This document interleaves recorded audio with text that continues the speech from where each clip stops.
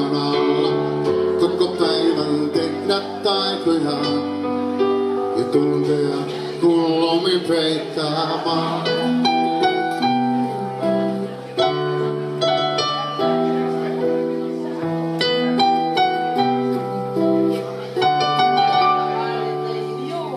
Ristikädet katseen hiljaa ylöspäin ja kiitti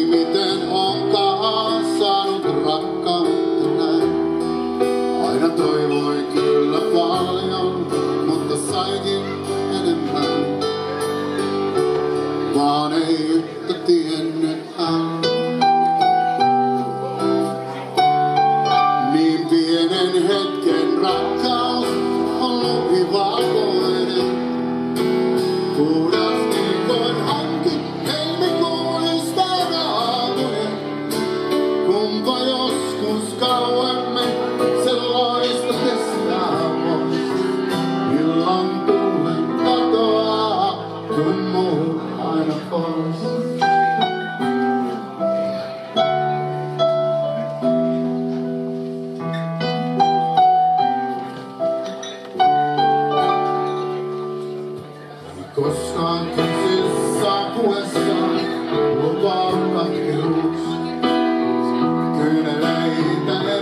voin pieni ikuisuus.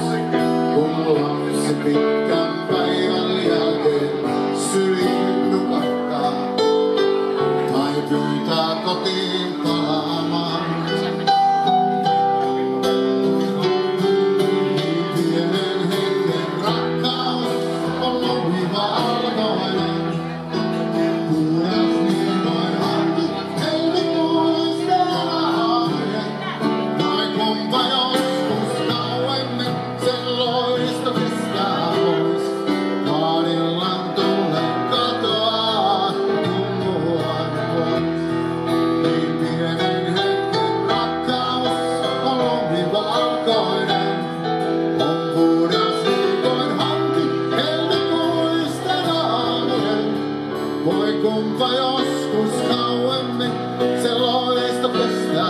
pois. Vaan illan tulle katoaa, tummuu aina pois.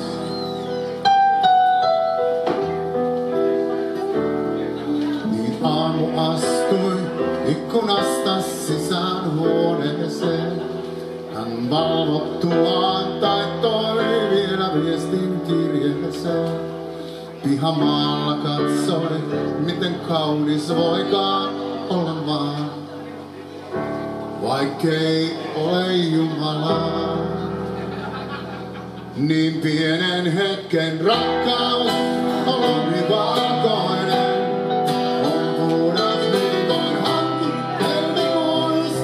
aamunen. Voi kumpa joskus kauan